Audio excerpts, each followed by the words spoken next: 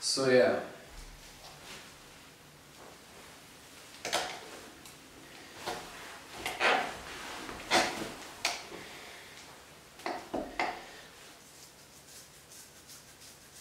Of course, you can also see it in a way.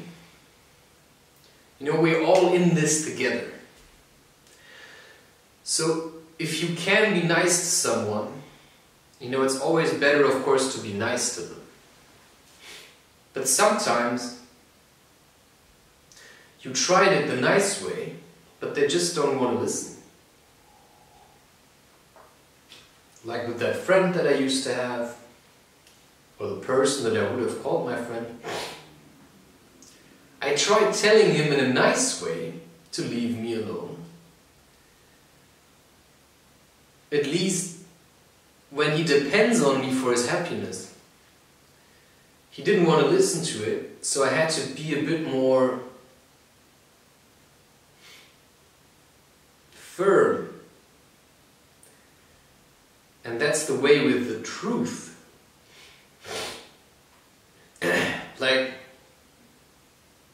if you don't want to hear the truth, like I can shout at you, and then you may just say, No, no, I'm not hearing you, blah, blah, blah, blah, blah.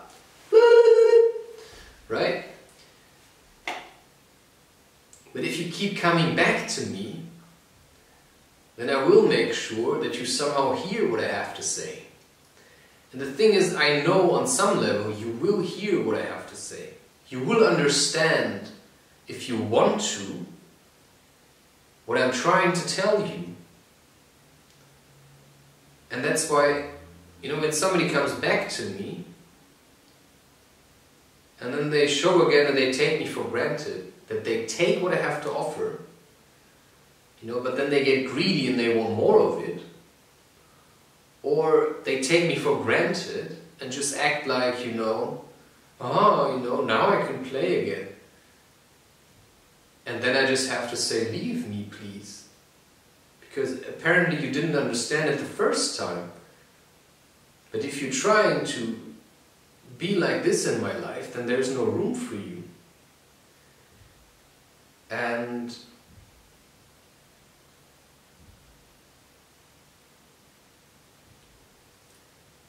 you can then, of course, always feel bad for it and torture yourself like I've been doing for telling some people to leave me because they didn't want to leave me. But then once more, try to understand how you felt in that situation and why you did the things that you did. Like you can, for example, feel bad for breaking up with someone because maybe it makes them depressed. But I mean, that's just how they are, right? And they were just using you to be less depressed, but that's not how it's supposed to be. Because if you're trying to keep other people out of their depression, then you're not really living, right? Because then you're always one step away from your own depression. And having people in your life that depend on you to feel good means that they will also get angry at you if you, you know, if you can't give them anything at the moment. And that's you know, where we come to with the juggling. You start walking the spiritual path. You start incorporating spiritual practice. You say, no, I have a goal, I want to be happy. First of all, that's a selfish, selfish decision. And therefore, you know, better stick with it. And make sure to keep the people off your back, you know, that are draining your energy. And then you start juggling. And while you're trying to learn how to juggle, people come all the time and try talking to you. And you think, well, don't you see I'm juggling here? It's like that other day, I was slacklining, and this woman was standing right in my line of sight, staring at me. I mean, that's about as indecent as you can make it. Like, don't you realize that this is really like uncomfortable for me? Of course, I don't have to slackline there, it's also in a way my own fault. But some people are just really disrespectful. They have no shame. They have no, like, perception on what their presence might do to somebody else. You know, just because I'm slacklining here doesn't mean you have to stand there and like outright stare at me. I mean, you can at least sit down somewhere and not just stand immediately in your, in your line of sight because, you know, I pick that up. I know you're staring at me, so it's kind of disturbing.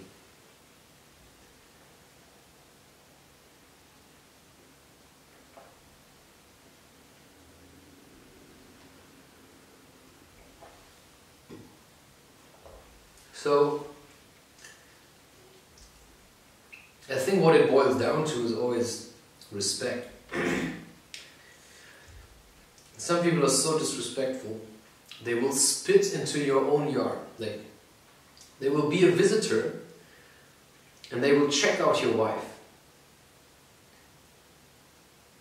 or flirt with your husband. And that's disrespectful. Of course, your wife or your husband should be aware of that. And that's why when you want to grow spiritually, I believe it's sometimes better to then just wait for the right person to come into your life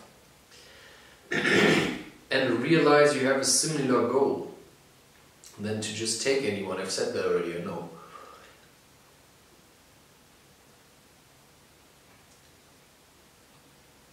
But maybe it's just for me also to remind myself of it. Because I find it like highly important. That I'm not just the needy little shit. And to not just take anyone. But the first thing that has to be absolutely clear is that I have a goal. And that anybody who wants to spend time with me has to be aware that they're going to be second choice. Because first choice is always my mission with God and what my feeling tells me.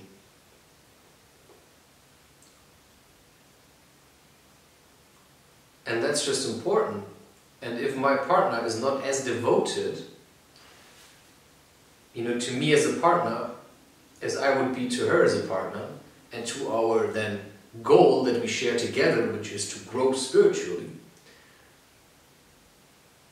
then I will make certain decisions. Because to me, this is no joke. And I've said that already. I take this very seriously. And I think that's what some of the people are missing that find spirituality because they just see it as something, you know, to party, to have sex, you know, something where no rules apply. But that's not true. There are rules. There are quite a lot of them. And that's, you know, to avoid sin. And then what that is, you figure it out for yourself, but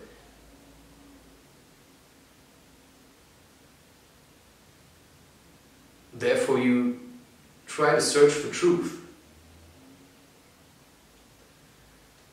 And it's a minefield. I tell you that. It's a minefield. It's a minefield. It's like walking over a meadow where all those dogs have shat and you're trying to avoid it, but there's so much of it.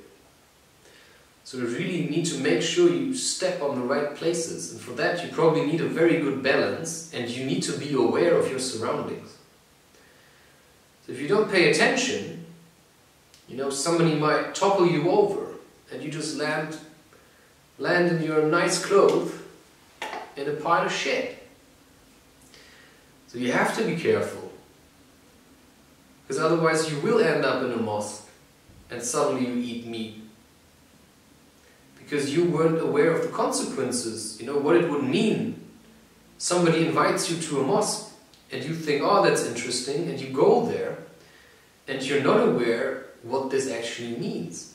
Now, having gone there, now I know what it means, and now I can say I will never go there again because it's not my place to be. It's for people who think they're Muslims. Right? For them, it's the place to be because they can then all gather together and say, We're Muslims! But they don't follow the same values and the same philosophy that I try to have in my life, which is no meat. And like certain things that I just don't want. No gluten. But when I'm there, you know, people are going to say, oh, come on, try the food. And they're quite persistent. And if you say no, they're going to get angry. So do you know what I say? I don't come at all. Because if you're making it hard for me to say no, then I don't want to come anymore because then I'm always going to be in the position of offending people. And then I rather not come at all. Or make it very sure, right, that I won't eat anything.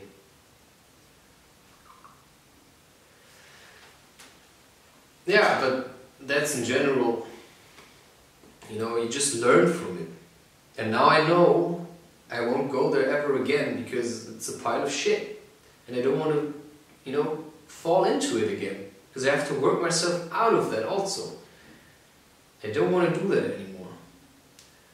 And that brings me back to the point the place where I want to be does not exist yet.